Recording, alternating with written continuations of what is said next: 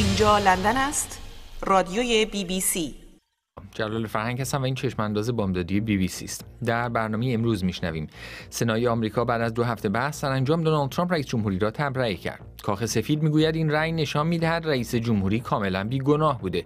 دموکرات ها اما آن را بی اهمیت خواندند چرا که شاهدی در آن حضور نداشته. در ایران حسن روحانی دستور داده که لایحه اصلاح موضوع نظارت بر انتخابات تهیه شود. می‌پرسیم بعد از دفاع شدید رهبر ایران از شورای نگهبان چنین لایحه‌ای به کجا خواهد رسید؟ گزارشی داریم از تازه ترین اخبار مربوط به شیوع ویروس کرونا که آمار تلفات ناشی از آن در چین به 563 نفر رسیده و بین تیم‌های استقلال و پرسپولیس هم امروز در باشگاه آزادی به مسافه هم می‌روند که در بخش ورزشی در مورد آن صحبت خواهیم کرد فعلا مشروع خبرها از فیروزه اکبریان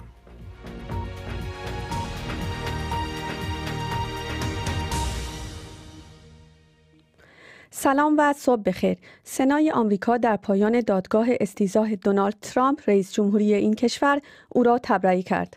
article of impeachment, 48 senators have pronounced Donald John Trump, President of the United States, guilty as charged.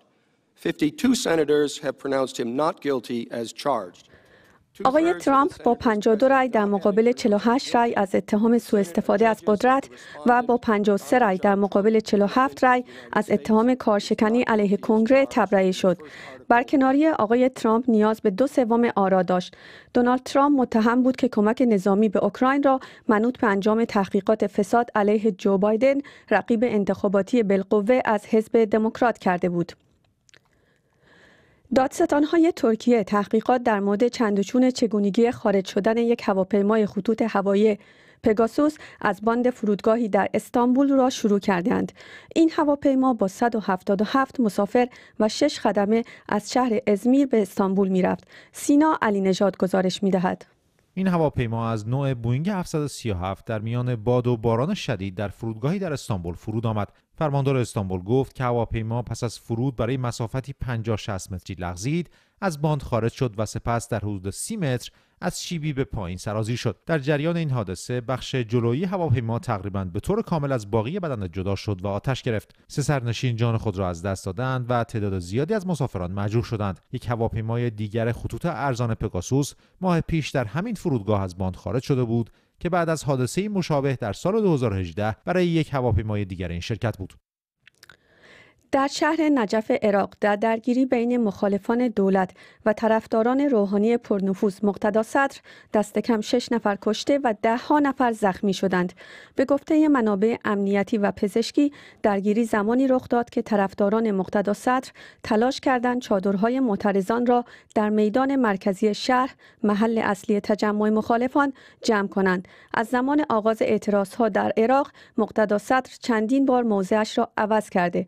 او گاهی از مخالفان دولت حمایت کرده و زمانهایی هم از آنها خواسته اعتراضهایشان را تمام کنند. ویروس کرونا همچنان قربانی می‌گیرد. تنها در 24 ساعت گذشته 73 نفر جانشان را از دست دادند. بیشترین آنها در استان هوبه چین.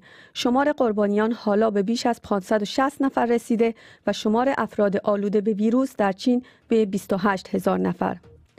و کرک داگلاس یکی از ستاره های تاریخ هالیوود و برنده جایزه اسکار در 103 سالگی درگذشت. یکی از معروفترین نقش های او بازی در فیلم اسپارتاکوس به کارگردانی استنلی کوبریک بود.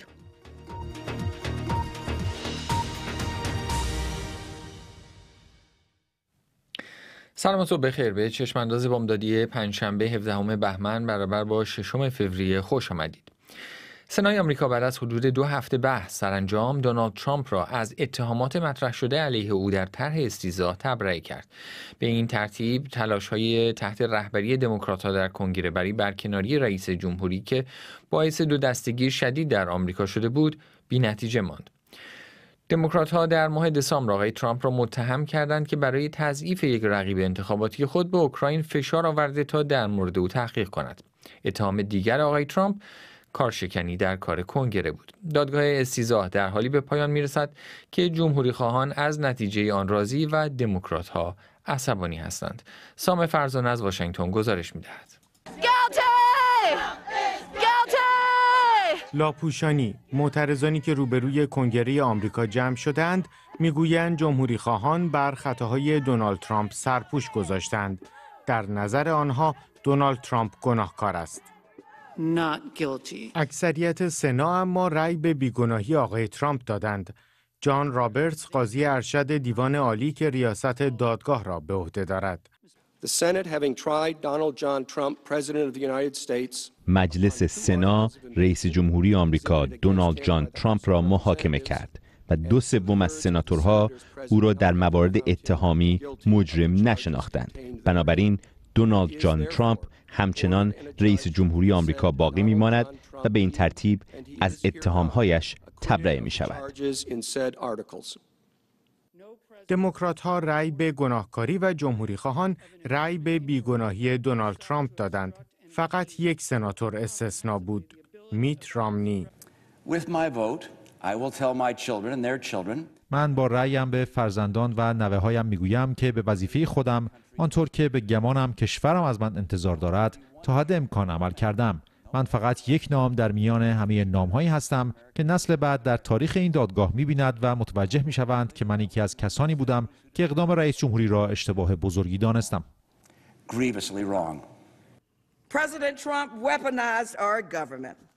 استیزاه کنندگان می‌گفتند که آقای ترامپ با گرو گرفتن صدها میلیون کمک اختصاص داده شده به اوکراین می‌خواسته رئیس جمهوری این کشور را راضی کند تا نام یکی از رقبای انتخاباتی آقای ترامپ را لکه دار کند.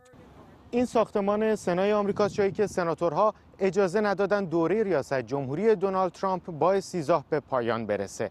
استیزاه در بخش دیگری از ساختمان کنگره یعنی در مجلس نمایندگان تصویب شده بود مجلس نمایندگان در دست رقبای سیاسی آقای ترامپ که با او رویارویی جدی دارند رئیس مجلس نمایندگان یک شب پیش از تبرئه رئیس جمهوری متن سخنرانی سالانه او را در حضورش پاره کرد. پاسخی تند به آقای ترامپ که دستش را هنگام خوشامدگویی پس زده بود. تنشی که بین دو حزب اصلی آمریکا بالا گرفته در سال انتخابات زنگ خطری است برای آنهایی که نگران هستند کشور بیش از این دو پاره شود. اتحاد هم فعلا آرزوی بیش نیست. سام فرزانه از واشنگتن گزارش می‌داد. برای بررسی بیشتر خبر تبرئه دونالد ترامپ توسط سنای آمریکا در ارتباط هستیم با منصور فرهنگ استاد روابط بین الملل در دانشگاه بنینگتون که از نیویورک آمریکا به برنامه ما ملحق شدند آقای فرهنگ خیلی خوش آمدید دونالد ترامپ تبرئه شد. ولی حتی بعضی از جمهوری خواهانی که به تبرئه او رأی دادند از رفتار آقای ترامپ در پرونده اوکراین انتقاد می‌کردند. در مجموع فکر می‌کنید این روند آیا هزینه جدی برای آقای ترامپ داشت؟ این پاسخ مستقیم به سوال شما مربوط به آینده است. برای اینکه استیزاه در آمریکا یک پدیده سیاسی است نه یک پدیده غذایی اگرچه از اصطلاحات و الفاظ قضایی استفاده میشه. مثلا در اینجا در یک دادگاه رئیس دادگاه قاضی می‌تونه تصمیم بگیره که شهود و اسناد و مدارک لازم برای دادستان رو آماده بکن در اینجا هیئت جوری تصمیم می‌گیره که آیا شهود و اسناد و مدارک لازم هست یا نه. که این ارتباطی به سیستم قضایی معمولی نداره. ولی واقعیت امر اینه که این یک پدیده سیاسی در واقع هیئت منصفه اساسی جامعه آمریکاست. چون این برای اولی این سومین باری که در آمریکا یک رئیس جمهور داره استیزا میشه ولی اولین باره که این استیزا رئیس جمهور در دور اول انتخابات اوست یعنی انتخابات مجددی در پیش نداشته مثل کلینتون یا مثل جانسون که در قرن 19 هم بود. بنابراین در آینده باید ببینیم که آیا مردم نسبت به این پدیده نسبت به این محاکمه چه قضاوتی می‌کنن و این در انتخابات ماه نوامبر آینده معلوم میشه. خب همین فکر می‌کنید که افکار عمومی چطور واکنش نشون خواهند داد؟ چون الان می‌بینیم که دونالد ترامپ بعد از سخنرانی سالانش که در اون خیلی هم روی دستاوردهاشون دستاوردهایی که معتقده در زمینه اقتصاد و مسائل دیگه داشته تکیه کرد و می‌بینیم که توی نظرسنجی ها مردم خیلی از وضعیت اقتصادی راضی هستند فکر می‌کنید که در انتخابات پیش رو این قضیه به چه شکلی خودش رو نشون خواهد داد و افکار عمومی چطور دستبندی خواهند شد؟ این بستگی به این داره که بین از حالا تا ماه نوامبر آینده چه اسناد مدارکی و یا شواهد بیشتری بخواد به جامعه آمریکا ارائه بشه. مثلا جان بولتون کتابی نوشته در رابطه با دقیقا اتهاماتی که به آقای ترامپ زدن که این کتاب تا یک ماه دیگه منتشر میشه و جان بولتون داوطلب شده بود که بیاد در مجلس سنا و در اونجا شاهد بشه در واقع تجربیات خودش رو بگه. ولی اونجاشون اکثریت جمهوری خواه بودن موافقت نکردن.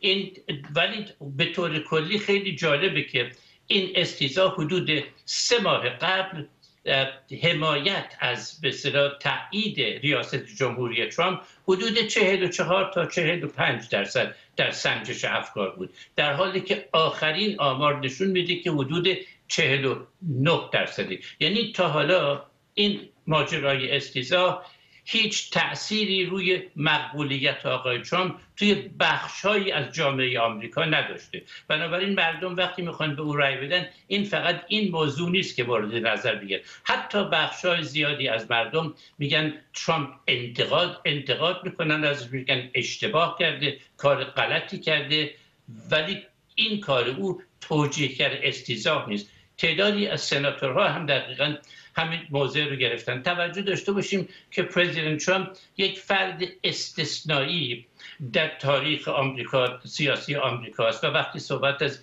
استثناء در حریم سیاست می‌کنیم الزاما یک قضاوت ارزشی نیست. خمینی و هیتلر و استالین و غیر ذالک هم استثناء بودن. بنابراین ترامپ اومده واقعا رفتار و معیارهای تجزیه و تحلیل راجع به رئیس جمهور و به طور کلی دولت رو تغییر داده. به این دلیل که وقتی ما امروز به دانشگاهیان آمریکا که تخصص روی امور سیاسی تاریخی دارن و یا روزنامه نگار برجسته گوش بدیم خیلی جالبه که غالب اینا شروع می‌کنن به روانکاوی و روانشناسی این فرد که بی ارتباطی او رو با واقعیات مطرح می‌کنن.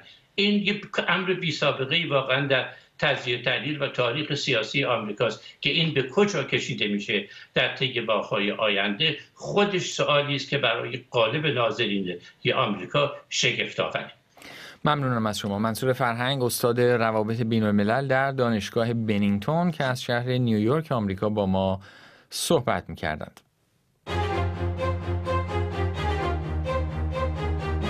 چشمانداز بامدادی را از بخش فارسی رادیوی بی بی سی در لندن میشنوید. مجموعی از خبر، تحلیل، گزارش و گفتگو درباره رویدادهای مختلف ایران و جهان. هر روز از ساعت هفت تا نه صبح به وقت تهران.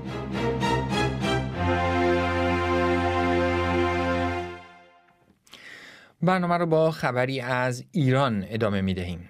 چهار روز پس از آنکه حزب اصلاح طلب اتحاد ملت ایران اسلامی در نامه خطاب به رئیس جمهوری ایران خواستار برگزاری همه پرسی درباره نظارت استصوابی شده بود حسن روحانی دستور دادی که لایحه اصلاح موضوع نظارت بر انتخابات تهیه شود حسن روحانی در دستور خود اشاره‌ای به همه پرسی نکرده اما در پینوشت نامه حزب اتحاد ملت از معاون اول وزیر کشور و معاون حقوقی خود خواسته تا لایحه‌ای برای اصلاح بخش نظارت بر انتخابات تهیه و ارائه شود. دستور حسن روحانی برای تهیه این لایحه تنها ساعاتی پس از آن اعلام شد که آیت الله علی خامنه ای رهبر ایران در سخنانی از عملکرد شورای نگهبان در رد صلاحیت گسترده داوطلبان نمایندگی مجلس دفاع کرد و به منتقدان این نهاد هشدار داد که نگویند انتخابات مهندسی شده. آیت الله خامنه ای همچنین تاکید کرد که حضور انبوه مردم در این انتخابات برای حفظ آبروی نظام جمهوری اسلامی و رفع مشکلات داخلی و خارجیش ضروری است و از مردم خواست حتی اگر از او خوششان نمیآید در انتخابات پیش رو رأی بدهند. بحث در مورد نظارت شورای نگهبان در حالی بالا گرفته که شورای عالی سیاستگذاری اصلاح طلبان از رد صلاحیت 90 درصد کاندیداهای اصلاح طلب خبر داده. بسیاری از نمایندگان فعلی مجلس و رؤسای کمیسیون ها هم رد صلاحیت شدند. برای بررسی بیشتر این تحولات در ارتباط مستقیم هستیم. با مهدی مهدوی آزاد روزنامه‌نگار و تحلیلگر مسائل سیاسی ایران که از بن آلمان به برنامه ما ملحق شدند. آقای مهدوی آزاد خیلی خوش آمدید. مسئله اصلاح نظارت بر انتخابات که آقای روحانی هم دستور لایحش رو داده آیا چیزی هست که در عمل به جایی برسه؟ اون هم درست بعد از اون که رهبر ایران به دفاع از شورای نگهبان پرداخته و به تندی به منتقدان این نهاد تاخته؟ صبح شما بخیر. خوب می‌دونید که این مسئله نظارت شورای نگهبان اصلاح نظارت شورای نگهبان بر انتخابات یا همون مسئله رد صلاحیت ها احراز صلاحیت ها بیش از دو دهه است که در فضای سیاسی ایران خیلی جدی مطرح است. حدود دو دهه پیش سال 1378 انتخابات مجلس ششم برگزار شد. در اون مکتب دولت آقای خاتمی تلاش کرد فایده نداشت. در مقطع بعدش که مجلس هفتم می‌خواست برگزار بشه سال 1391 حتی دولت آقای خاتمی دو تا لایحه برد که معروف شد به لوایح دوقلوی دولت. در مجلس هفتم حدود دو سوم نمایندگان مجلس قبل نمایندگان اصلاح طلب رو رد صلاحیت کردن رد صلاحیت ها از این وضعیتی که الان مشاهدش هستیم حتی به روایتی بدتر بود. بعد از اون در دولت آقای احمدی نژاد هم باز دوباره همین مشکل پیش اومد. در دومین مجلس دولت آقای احمدی نژاد سال 90 مجلس نهم باز هم تعدادی از حامیان احمدی نژاد این دفعه توسط شورای نگهبان رد صلاحیت شدن به نام قلع و قم یا برخورد با جریان انحرافی دوباره دولت آقای احمدی نژاد وارد منازعه شد با شورای نگهبان دوباره مثل دولت آقای خاتمی طرح و لایحه نوشت. هر که اونقدر جدی به مجلس نبرد. دوباره آقای احمدی نژاد این بار دستور داد که اختیارات شورای نگهبان مورد بازبینی قرار بگیره. حتی دوباره می‌خواستن مثل دولت آقای خاتمی درخواست رفراندوم بکنن. و نهایتا دولت آقای روحانی.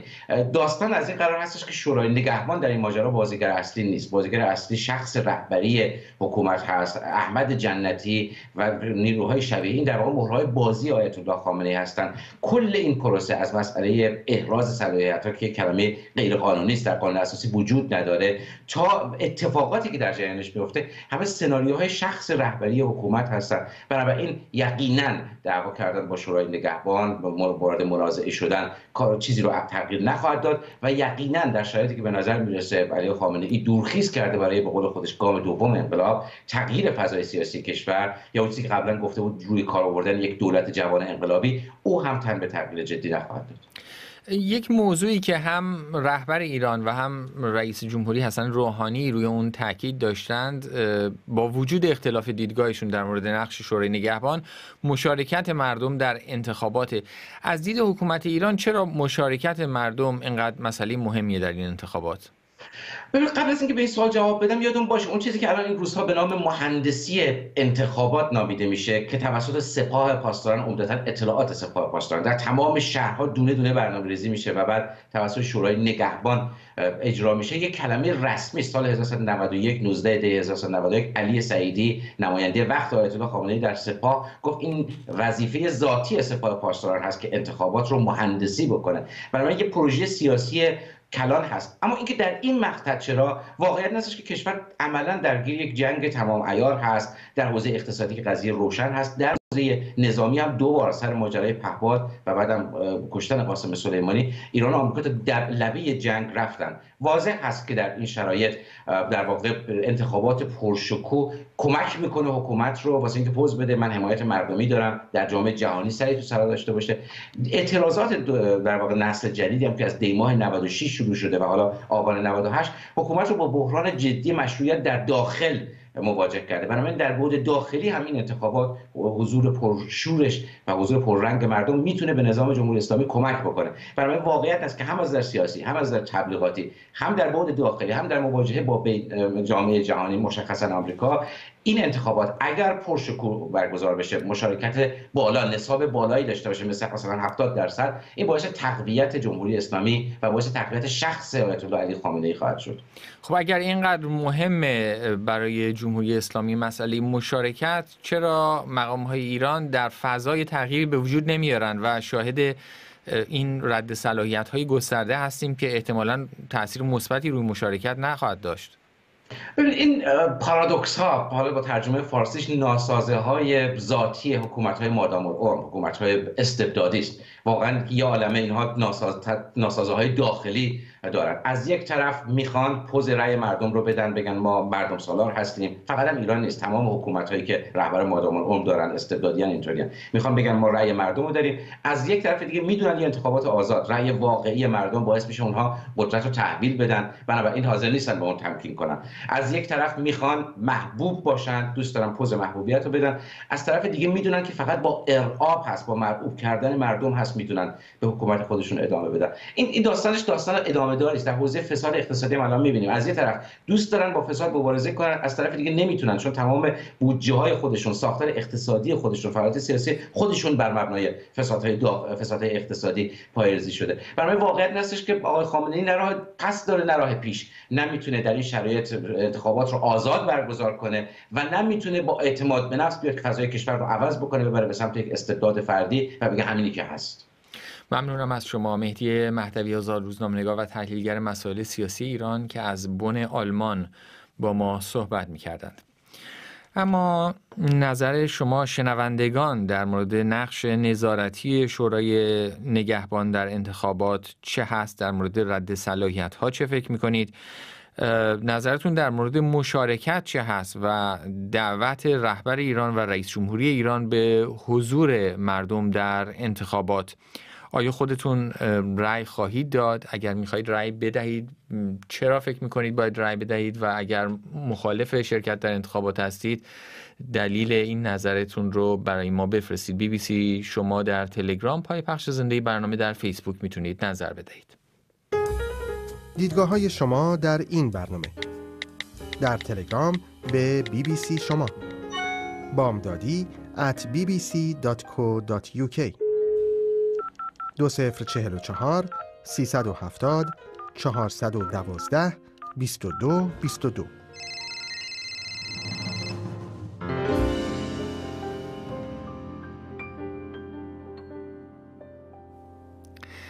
و حالا نگاهی بیاندازیم به روزنامه های امروز صبح چاپ تهران در گفتگو با فرشته قاضی.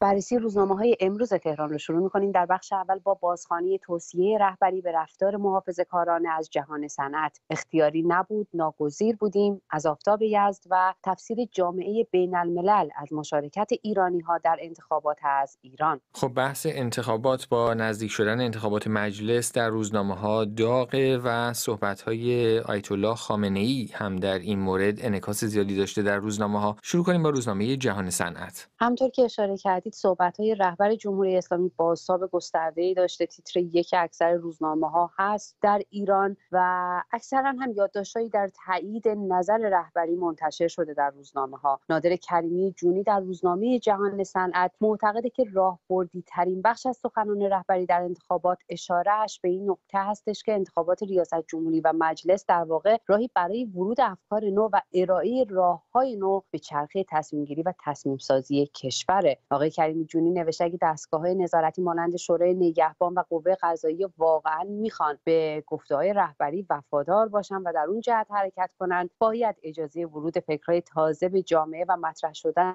اون رو بدن و علاوه بر اون راه ورود این افکار تازه به مراکز تصمیم گیری و تصمیم سازی کشور رو هموار کنند. و روزنامه آفتاب یزد مطلبی داره در مورد تصمیم شورای عالی سیاستگذاری اصلاح طلبان مبنی بر عدم ارائه فهرست انتخاباتی.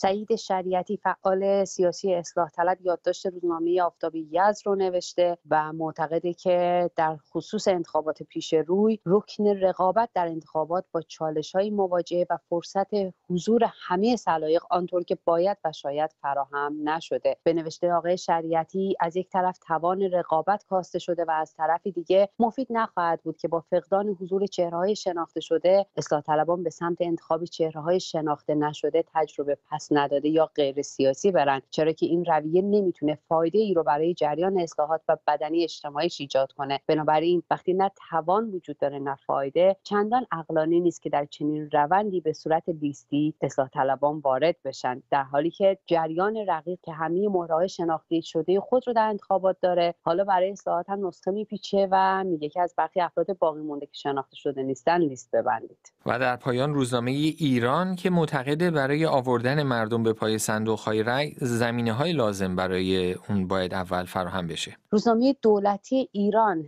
نوشته که مسئولین و تصمیم گیران کشور نباید غافل بشن از اینکه زمینه حضور حداکثری مردم با سلایق مختلف در انتخابات رو باید فراهم بکنن حضور حداکثری مردم و شرکت در انتخابات پیامی رو به نهادهای حاکمیتی میده مبنی بر اینکه چه خواسته هایی دارن و مایل به پیگیری چه سیاستی در عرصه بین المللی هستند. چنانچه اگر هم با صندوق های رأی قهر کنند و از مشارکت خودداری پیام خاص خود رو به حاکمیت میدن. یعنی کسانی که به هر دلیلی با صندوق قهر می‌کنه. با قدرت حاکم هم قهر کرده و نمیشه منکر شد که بخشی از قدرت ملی از همین صندوق های رأی در میاد.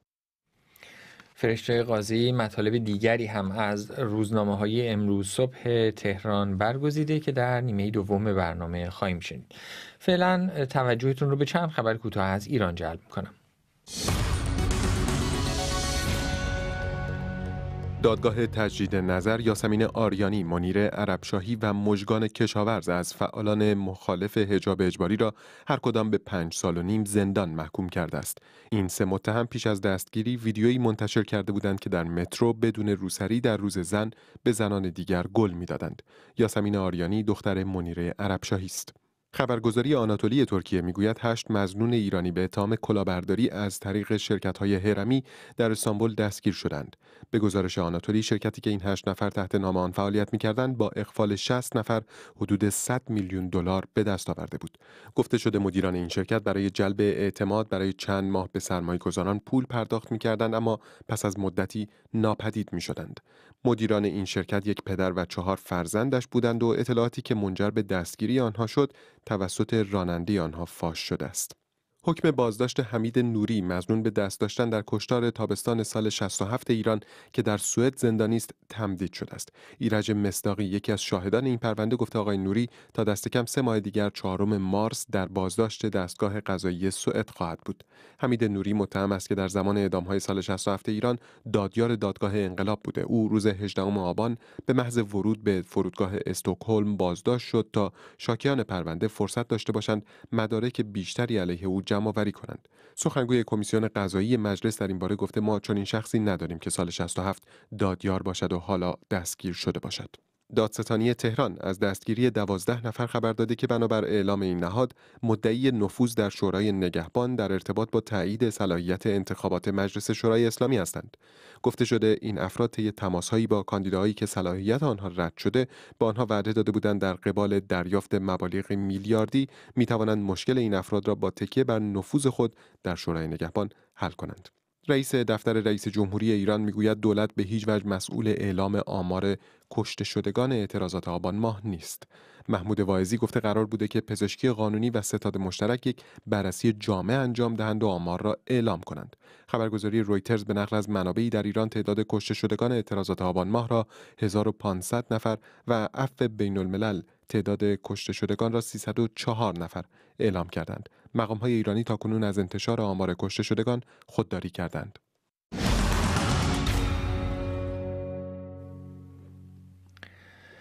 این هم اخبار ایران اما بشنویم از تازه ترین آمار مربوط به شیوع ویروس مرگبار کرونا تعداد قربانیان این ویروس در چین اکنون به 563 نفر رسیده.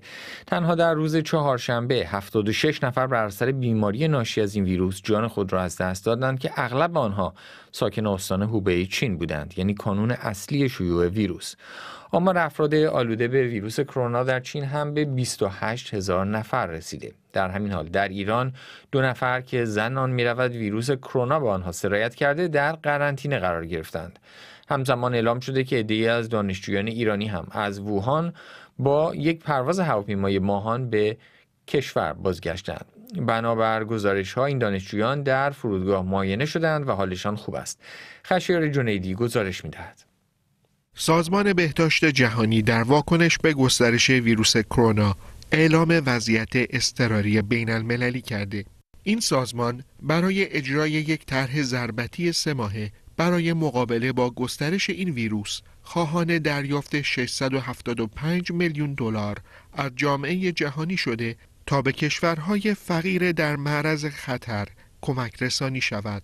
این در حالی است که بر اساس تازه ترین گزارش ها تعداد افراد مبتلا به این ویروس در چین از مرز 28 هزار نفر گذشته 160 نفر نیز جانشان را از دست داده اند. همزمان نگرانی از احتمال تشدید گسترش این بیماری به سایر نقاط جهان افزایش یافته. تا کنون 25 کشور وجود افراد آلوده به این ویروس را در خاک خود تایید کرده اند. گفته می شود بیشتر از 190 نفر در خارج از چین به این ویروس آلوده هستند و تا کنون فوت دو نفر از مبتلایان در فیلیپین و هنگ کنگ تایید شده. به گفته مقام های محلی در هنگ کنگ 21 فرد آلوده به ویروس کرونا در این منطقه شناسایی شده اند. دولت هنگ کنگ به رغم اعتراض کارکنان بخش بهداشت و درمانش مرزهایش را با چین نبسته ولی اعلام کرده از روز شنبه همه مسافرانی را که از خاک چین وارد این منطقه خود مختار می شوند را برای چهارده روز قرنطینه خواهد کرد. دولت هنگ کنگ همچنین اعلام کرده بنادر خود را بر روی کشتی های تفریحی می بندد. در ژاپن هم مقام های بهداشتی مسافران و کارکنان یک کشتی تفریحی را در بندر یوکوهاما قرنطینه کرده اند. کشتی دایموند پرنسس 3700 سرنشین داشته و تا کنون ابتلای ده نفر از آنها به ویروس کرونا تایید شده. خشایار جنیدی گزارش می‌داد. اجازه بدید نگاهی کوتاه به اخبار مهم روز بیاندازیم. سنای آمریکا در پایان دادگاه استیزاه دونالد ترامپ رئیس جمهوری این کشور را تبرئه کرد. دادستانهای ترکیه. تحقیقات در مورد چند و چون چگونگی خارج شدن یک هواپیمای خطوط هوایی پگاسوس از باند فرودگاهی در استانبول را شروع کردند. این هواپیما با 177 مسافر و 6 خدمه از شهر ازمیر به استانبول می‌رفت. در شهر نجف عراق درگیری بین مخالفان دولت و مقتدا صدر طرف روحانی پرنفوذ طرفداران مقتدا روحانی پرنفوذ دست کم شش کشته و ده ها زخمی بر جای گذاشته ویروس کرونا همچنان قربانی می‌گیرد تنها در 24 ساعت گذشته 73 نفر دیگر جانشان را از دست دادند که بیشتر در استان هوبه چین بودند و کرک داگلاس که ستاره های تاریخ هالیوود و برنده جایزه اسکار در 103 سالگی درگذشت. خب به میانه راه رسیدیم در ادامه برنامه. ابتدا گزارشی داریم از افغانستان در مورد رسیدگی به شکایات انتخاباتی. بعد به آلمان میریم میشنویم که دادگاهی رأی داده که یک نقش برجسته متعلق بر قرن 13 میلادی با مضمون ضد یهودی که روی دیوار کلیسایی در شهر ویتنبرگ بوده.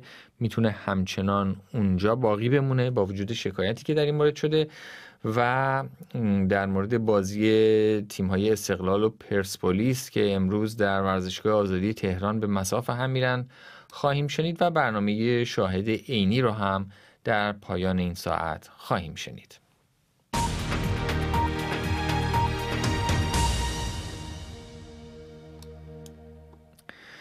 کمیسیون رسیدگی به شکایات انتخاباتی افغانستان پس از بررسی 22500 شکایت در مورد نتایج ابتدایی انتخابات ریاست جمهوری آن کشور تصمیم نهاییش را به کمیسیون مستقل انتخابات فرستاد.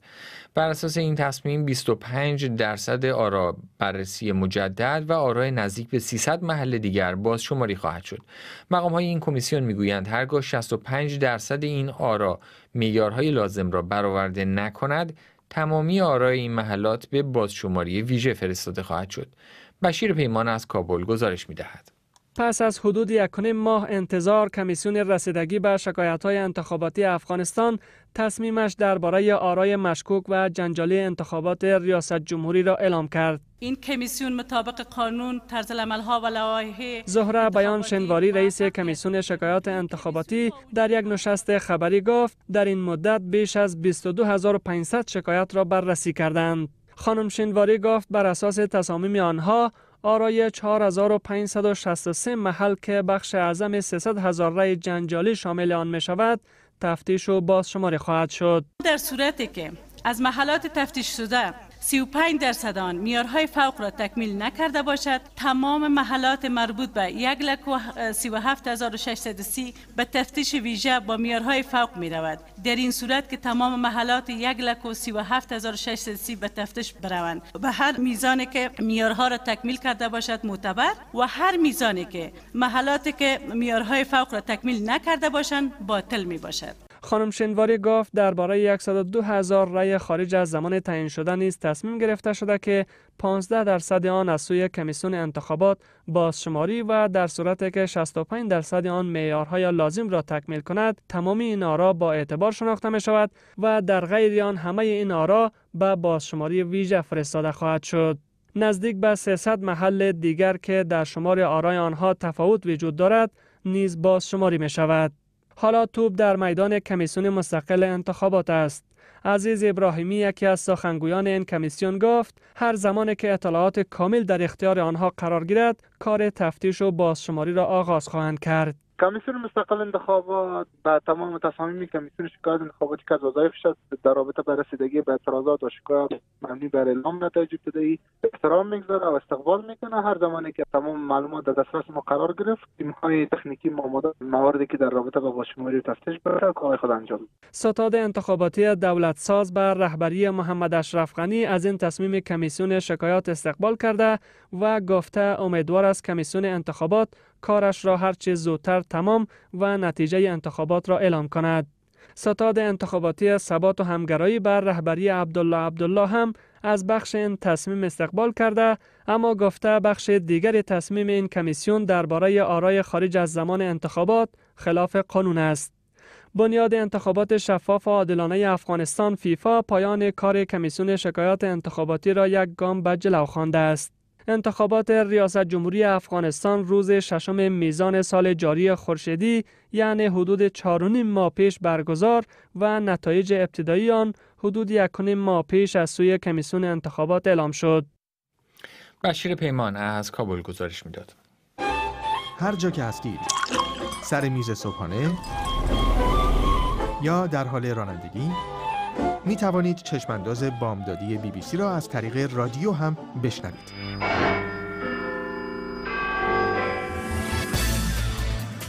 صدای ما را می توانید از ساعت 7 تا 8 نیم صبح به وقت تهران از موج متوسط 1413 کیلوهرتز دریافت کنید.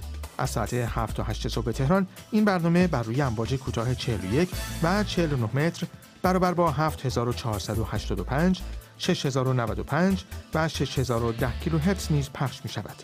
از ساعت 8 تا 9 صبح تهران صدای ما را می توانید بر روی امواج کوتاه 22 25 و 31 متر برابر با 13750 11905 و 9440 کیلوهرتز بشنوید. روزتان را با چشمانداز بامدادی بی بی سی آغاز کنید.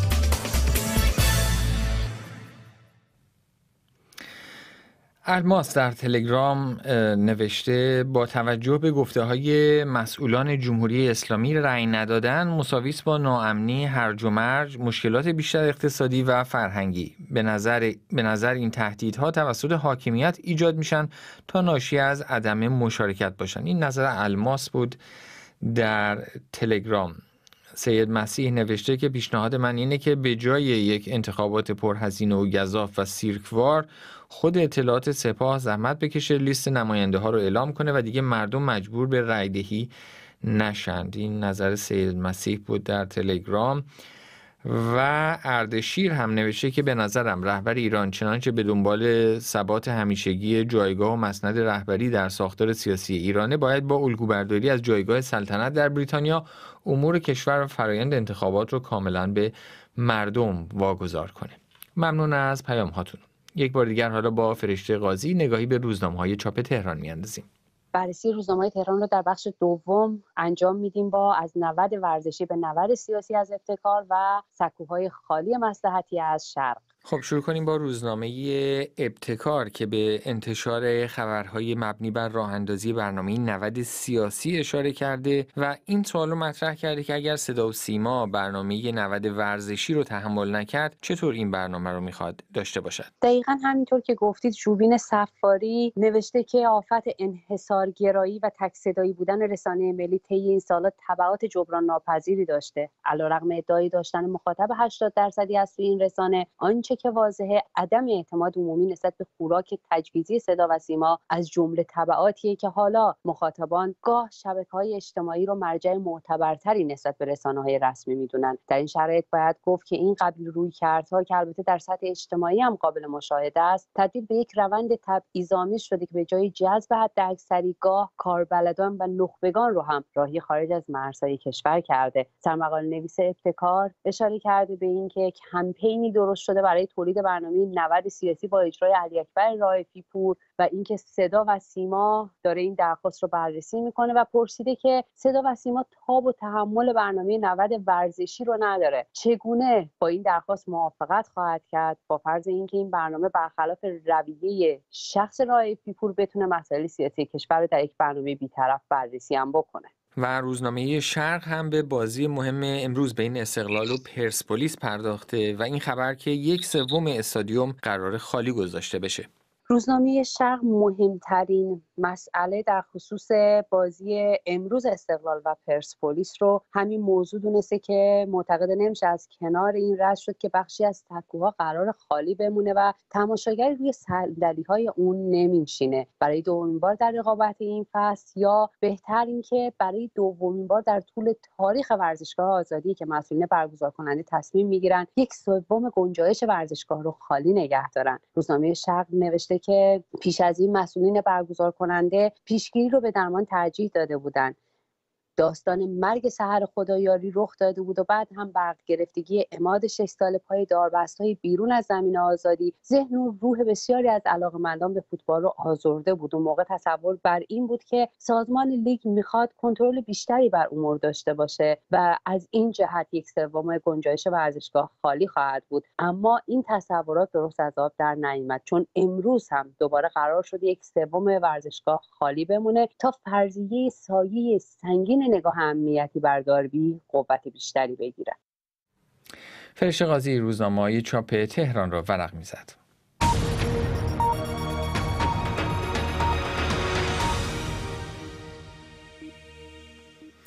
برنامه رو با گزارشی از آلمان ادامه می دهیم. دادگاهی در آلمان رأی داده که یک نقش برجسته متعلق به قرن سیزدهم میلادی با مضمون ضد یهودی که روی دیوار کلیسای شهر ویتنبرگ قرار دارد می تواند همچنان آنجا باقی بماند.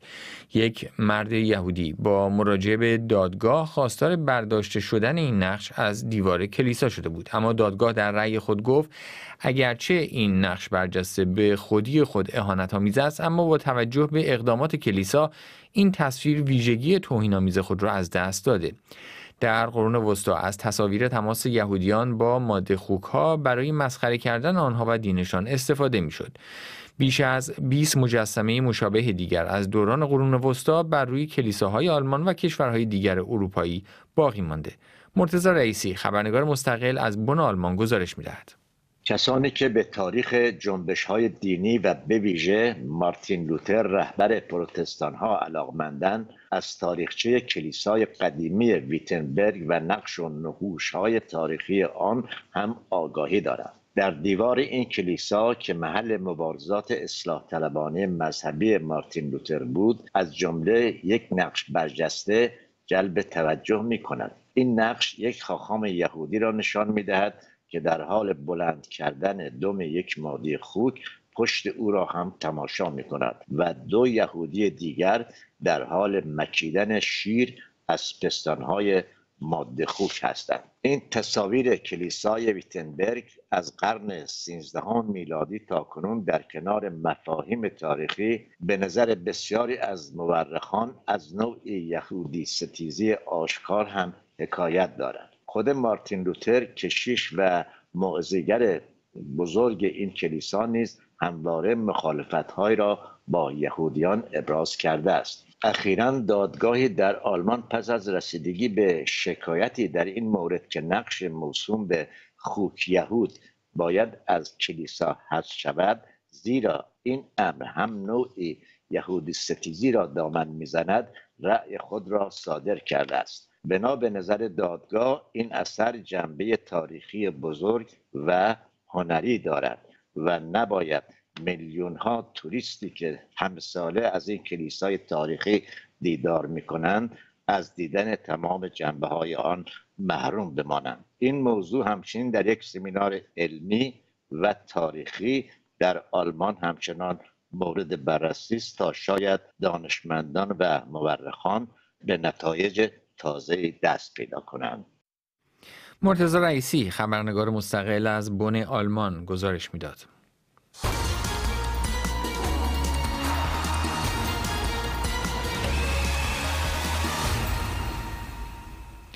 نوبت می‌رسه به اخبار ورزشی امروز که متمرکز هست روی مهمترین مسابقه این هفته لیگ برتر فوتبال ایران. یعنی رویارویی امروز تیم‌های استقلال و پرسپولیس در استادیوم آزادی تهران. پوریا جافره در گفتگو با مهدی رستنپور روزنامه‌نگار ورزشی ساکن کوپنهاگ به بررسی این مسابقه پرداخته.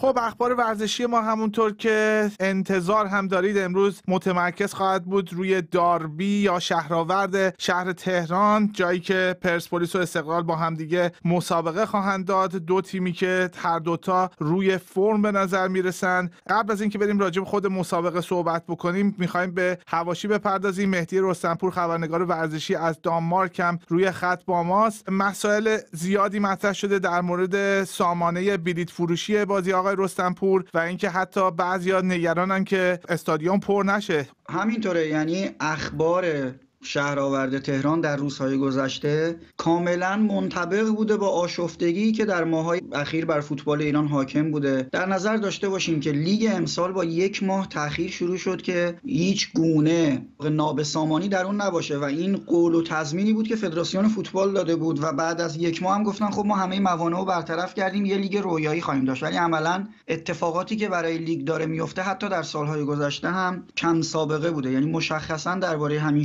شهرآورد بخوایم صحبت کنیم همه چی مبهم بوده در روزهای اخیر. یعنی از گزارشگر بازی که مدام تایید تکذیب شد تا خود بلیت فروشی که برام خیلی جالب پوریا.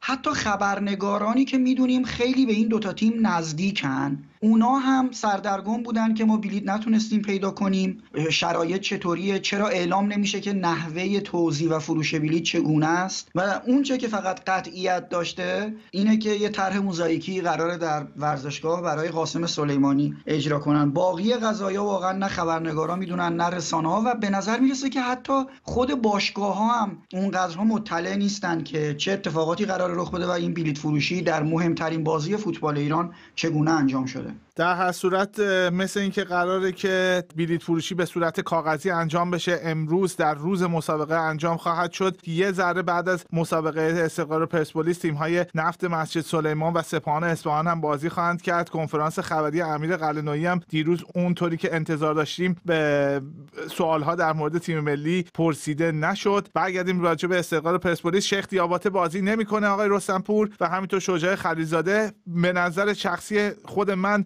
نبودن دیاباته می‌تونه اثر بیشتری داشته باشه توی تیم استقلال تا نبودن شجاع خلیزاده برای پرسپولیس. موافقم چون که دیاباته جایگزین نداره. در کیفیت و تواناییش که می‌تونست مدافعین پرسپولیس رو به نحوی مشغول کنه که به خط هافبک بسیار خطرناک پرسپولیس اضافه نشن. ولی خب جای شجاع کنانی زادگان بازی می‌کنه که خودش مدافع تیم ملیه. در این تقابل که حالا کمی هم مثبت صحبت کنیم در کنار همه موضوعات غم انگیزی که پیرامون این بازی وجود داره. می‌تونه بازی فوق العاده جذابی باشه. بعد از مدت دو تا سرمربی ایرانی که جوون هم هستن و یحیی که خب واقعا خوب ظاهر شده. فراد مجیدی هم شروع خوبی داشته انصافا. و این امید و پدیدار کردن که چه بسا سالهای سال بتونن مانند پروین و پورهیدری اون تقابلهای جذاب بتونن به نمایش بگذارن. ولی پرسپولیس فوق العاده خط پکش خطرناکه چقدر خوب در ضد حمله ها باز میشن به نحوی که همشون می‌تونن تموم کننده باشن و کارو برای همه رقبا سخت می‌کنه. یعنی از ترابی گرفته تا نوراللهی و وحید امیری همه تمام کنندن و علی علیپور هم که فوق العاده است. در طرف مقابل استقلال بسیار منظم متحد اما کمی خسته چون اونا دو تا بازی سنگین و با سنگین نه فقط در متن بازی بلکه از لحاظ روحی روانی ماجراهای مقدماتی لیگ قهرمانان آسیا رو پشت سر گذاشتن. بلا فاصله اومدن تو لیگ بازی کردن و فشار بیشتری رو نسبت به پرسپولیس متحمل شدن. نیاز بیشتری هم به پیروزی در این مسابقه دارن. به حال بخوام تموم کنم این موضوع رو خیلی کوتاه. شهر آورد. کاملا متمایز از سایر بازی ها این یه واقعیتیه. ولی غیر قابل پیش بینی من فکر می‌کنم اگر دو تا تیم برای فوتبال بازی کردن به زمین بیان که از شناختی که از دو نفر داریم فرهاد و یحیی حتما همینطور خواهد بود بازی جذابی می‌تونه باشه. امیدوارم زود به گل برسن هر دو تیم تا این جذابیت تو متن بازی کاملا سیطره بیاندازه و همه لذت ببرن. پوریا جافره در گفتگو با مهدی رستنپور روزنامه نگار ورزشی ساکن کوپنهاگ بازی امروز استقلال و پرسپولیس را بررسی می کرد.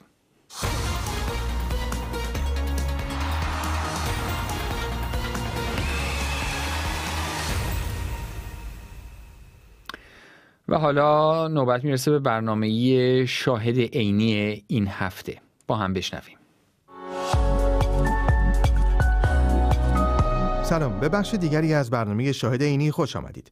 در این برنامه همراه با الخاندرا مارتینز به سال 1998 می رویم زمانی که دانشمندان سرانجام موفق شدند از معمای مرگ ده ها گونه از قورباغه ها و دوزیستان دیگر در سراسر جهان پرده بردارند. این بزرگترین خسارت به گوناگونی زیستی از یک بیماری ضربه دو برابره هم بدترین بیماری و هم یکی از گونه های بسیار آسیب پذیر دچار شده.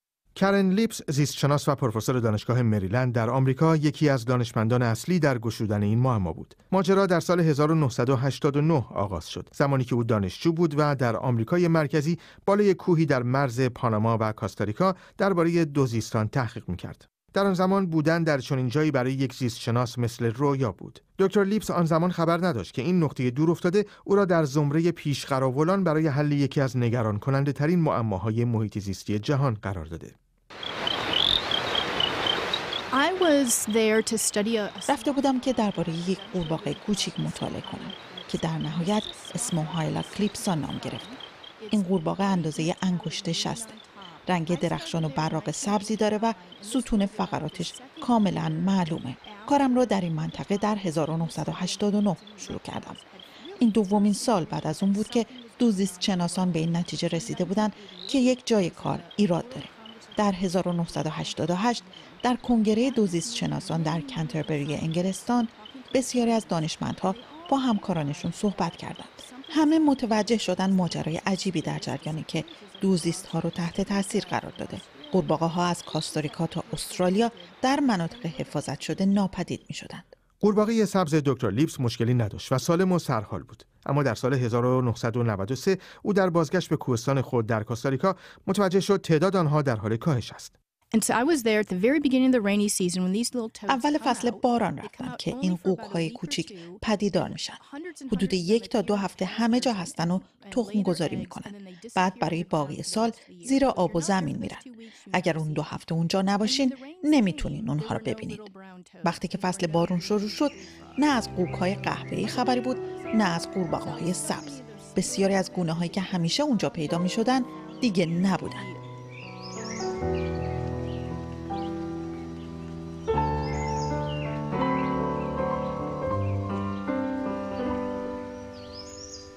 در آن زمان دیگر مشخص شده بود که چندین گونه قوک و قورباغه در حال انقراضند. یکی از نمادین ترین گونه هایی که در کوستاریکا ناپدید شده بود قوک طلایی بود.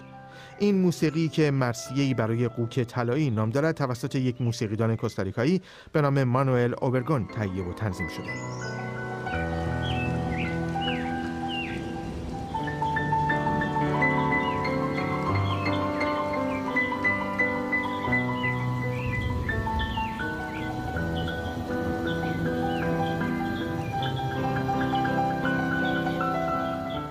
بوک طلایی حدوداً سال 1988 در کاستاریکا ناپدید شد. دکتر لیپس که در سال 1993 در جنوب این کشور شاهد ناپدید شدن گونه دیگری از همین نوع قوک بود، تصمیم گرفت قمار کند. دو نقطه روی نقشه داشتم. نگاهی به پاناما کردم که قبلا هم رفته بودم. فکر کردم کار کردن در این منطقه کاستاریکا بیمعنی شده چون دیگه هیچ قورباغه‌ای اونجا نبود. واقعا انتظار نداشتم اتفاق خاصی اونجا بیفته. فکر کردم شاید این قورباغه ها در حال حرکت باشن و باید در ایستگاه بعدی به پاناما برن. ابتدای کار در پاناما هیچ نشانی از بیماری نبود اما در سال 1996 کاملا مشخص شد که یک جای کار ایراد دارد. همینطور که کنار رودخونه راه می رفتیم می دیدیم که قورباغه هایی که باید فقط وسط شب بیرون بیان وسط روز کنار رودخونه به جای اینکه روی برگها روی آب نشسته باشن روی زمین نشستن. حتی وقتی که برای گرفتنشون نزدیک می شدیم تلاشی برای فرار نمی کردن. معمولا ما کنار رودخونه راه میریم قورباغه ها رو می‌گیریم وزنشون می‌کنیم اندازشون می‌گیریم و بعد رهاشون می‌کنیم. این بار وقتی اونها رو می‌گرفتیم همینطور کف دستمون میموندن و بعد توی دستامون میمردن. بعضی از قورباغه ها برای بررسی بیشتر به آزمایشگاه فرستاده شدند کارشناسان نتوانستند دلیل مرگ این جانداران را پیدا کنند اما گفتند اتفاق غریبی روی پوست آنها افتاده و با میکروسکوپ از پوست آنها تصاویری تهیه کردند. اینجا بود که مقاله‌ای در روزنامه نیویورک تایمز مسیر وقایع را تغییر داد. And what happened is the New York Times had heard about our, our big die-off. نیویورک تایمز از ماجرایی که برای ما اتفاق افتاده بود خبردار شده بود. با ما مصاحبه کردن و تصویری از پوست این قورباغه ها منتشر کردند. چند روز بیشتر نگذشته بود که کسانی در باغ وحش ملی در واشنگتن دی سی با ما تماس گرفتن و گفتن این اتفاق برای قورباغه های اونها در باغ وحش افتاده. از استرالیا هم گزارش مشابهی رسید. کارشناسان باغ وحش گفتن اونا هم همین مشکل رو دارن و دلیلش رو فهمیدن. یک قارچ به اسم بیدی. این قارچ در آزمایشگاه توسط دکتر جویس لانکور و همکارانش کشف شده بود. کسانی که قورباغه های مرده در باغ وحش ملی واشنگتن دی سی را مطالعه کرده بودند. در سال 1998 دکتر لیپس یکی از نویسندگان تحقیقی بود که بالاخره تایید کرد این قارچ دلیل از میان رفتن دوزیستان در آمریکای مرکزی و استرالیا بوده. قارچ با مسدود کردن منافذ پوست دوزیستان آنها را میکشت.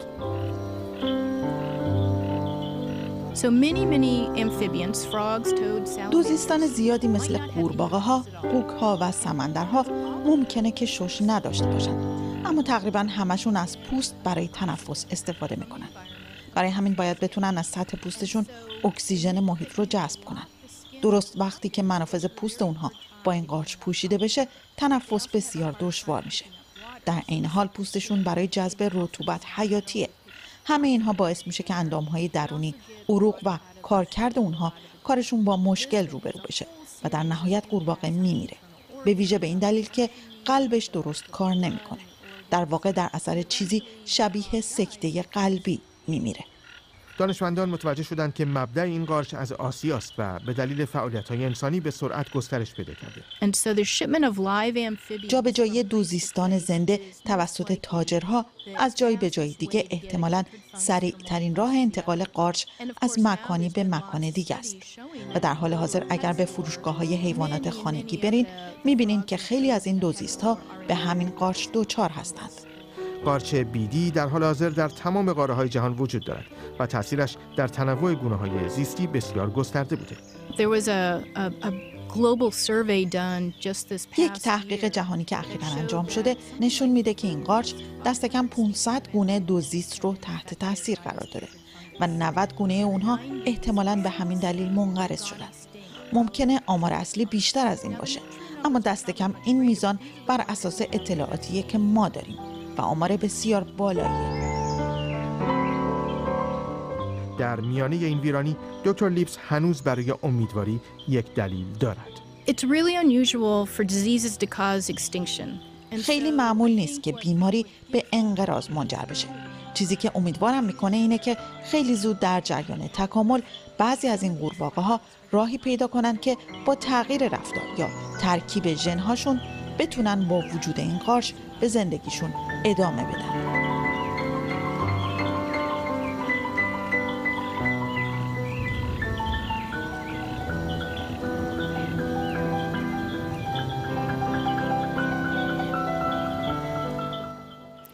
این هم شاهد عینی این هفته که پایان بخش این ساعت از چشمانداز بامدادی امروز بود اگر با ما باشید تا ثانیه های دیگر ساعت دوم چشم انداز بامدادی را با بولتنی از تازهترین خبرهای جهان ادامه می دهیم.